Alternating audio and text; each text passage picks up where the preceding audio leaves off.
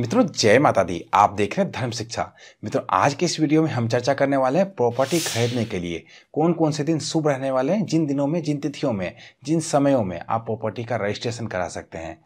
जब भी हम प्रॉपर्टी खरीदते हैं, चाहे हमारे किसी भी प्रकार की प्रॉपर्टी हो, किसी का दुकान हो सकता है, किसी का बना बना मकान हो सकता है, कोई ज़मीन खरीद सकता है, मकान बनाने के लिए कोई ज़मीन खरीद सकता है, खेती करने के लिए कोई फ्लैट खरीद सकता है। किसी भी तरह का प्रॉपर्टी होता है, उसमें बहुत सारी गाढ़ी कमाई लगती है और हमारे मन में एक ही बात चलती है कि इसका उपभोग मैं तो कर ही पाऊँ, मेरे बेटे पोते और उनके बेटे पोते भी इस प्रॉपर्टी का उपभोग कर पाएँ।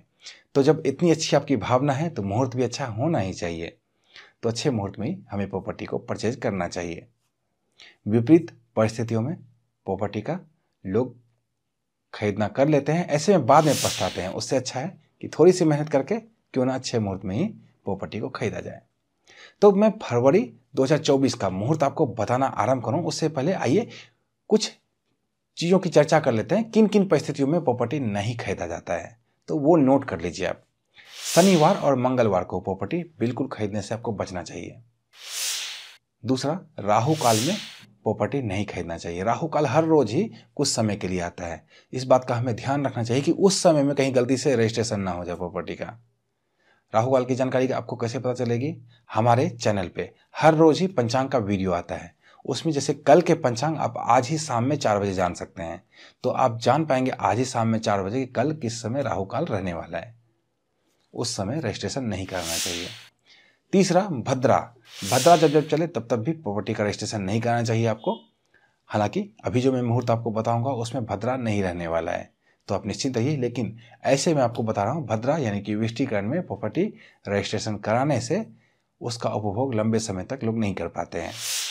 चौथा, जब आपकी राशि से चंद्रमा चौथे, आठवें या बारहवें भाव में हो तो अच्छे मुहूर्त होने के बावजूद प्रॉपर्टी खरीदने से हमें बचना चाहिए। मान लीजिए अमुक दिन में बहुत अच्छा मुहूर्त है, लेकिन मेरी राशि से चंद्रमा चौथे, आठवें या बारहवें भाव में हो तो मेरे लिए वो मुहूर्त अच्छा नहीं है। सबके लिए, पूरी दुनिया के लिए तो वो मुहूर्त अच्छा हो सकता है, लेकिन मेरे लिए नहीं है। यही होता है इसका मतलब। इसके अलावा, जब पंचक चले, तब भी आपको प्रॉपर्टी का रजिस्ट्रेशन नहीं करना चाहिए। पंचक, अर्थात जब चंद्रमा का कुंभ और मीन राशि में प्रवेश होता है। तो आइए लगे हाथों ये भी जान लेते हैं कि फरवरी 2024 में पंचक कब से कब तक रहने वाला है। पंचक आरंभ होगा शनिवार 10 फरवरी 2024 को, दिन के ग्यारह बजकर दस मिनट से और इसकी समाप्ति बुधवार चौदह फरवरी को शाम के चार बजे होने वाला है। अर्थात आप ये समझ लीजिए मोटा मोटा कि दस फरवरी से लेकर चौदह फरवरी तक तो पंचक ही रहने वाला है। और ये पंचक चूँकि शनिवार से आरंभ हो रहा है तो मृत्यु पंचक रहता है। इसमें प्रॉपर्टी बिल्कुल ही रजिस्ट्रेशन कराने से आपको बचना चाहिए। आइए अब चर्चा कर लेते हैं मुहूर्तों की। इस बार पाँच शुभ मुहूर्त बन रहे हैं प्रॉपर्टी खरीदने के लिए। लेकिन हो सकता है आपको ये पाँचों के पाँचों मुहूर्त सूट ना करे। समय के हिसाब से या आप अपनी राशि के अनुसार, अपने ज़िले के अनुसार, अपने लिए व्यक्तिगत तौर पर मुहूर्त निकलवाना चाहते हैं तो घबराने की कोई बात नहीं है। इस व्हाट्सएप नंबर पर संपर्क करना है। यहाँ पर सिर्फ़ और सिर्फ़ दो सौ इक्यावन रुपये की दक्षिण राशि जमा कराकर आप अपने लिए मुहूर्त निकलवा सकते हैं अपनी सुविधा अनुसार पहला जो शुभ मुहूर्त बनेगा वो बनेगा शुक्रवार। दो फरवरी 2024 को। इस दिन तिथि क्रमशः सप्तमी और अष्टमी रहने वाली है। नक्षत्र क्रमशः स्वाति और विशाखा रहने वाला है। शुभ मुहूर्त का निर्माण होगा दिन के ग्यारह बजकर ग्यारह मिनट से लेकर रात्रि के एक बजकर तैतीस मिनट तक। इसमें आपको राहु काल का ध्यान रखना आवश्यक है और दूसरा जो मैंने बताया था आपको, अपनी राशि से चंद्रमा की स्थिति का ध्यान रखना भी आवश्यक है। दूसरा शुभ मुहूर्त बनेगा, वो बनेगा सोमवार 19 फरवरी 2024 को।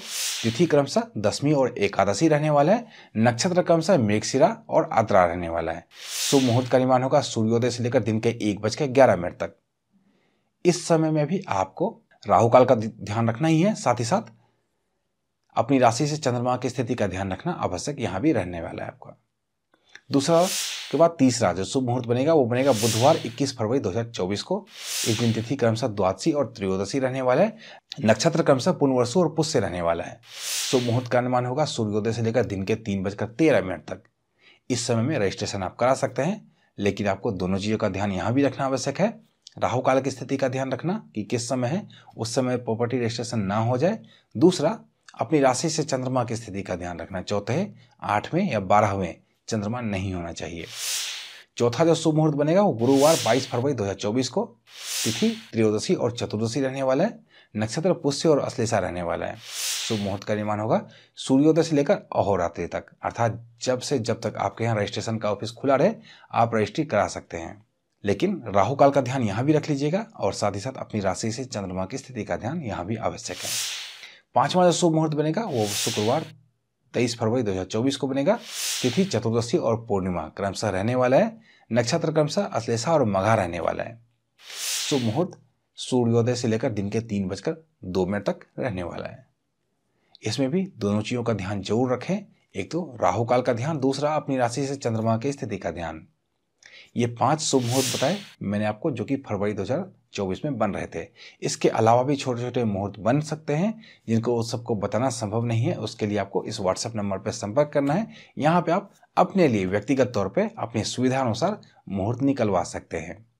तो मिलते हैं इसी तरह की अन्य ज्ञानवर्धक वीडियो के साथ। तब तक देखते रहिए धर्म शिक्षा। जय माता दी।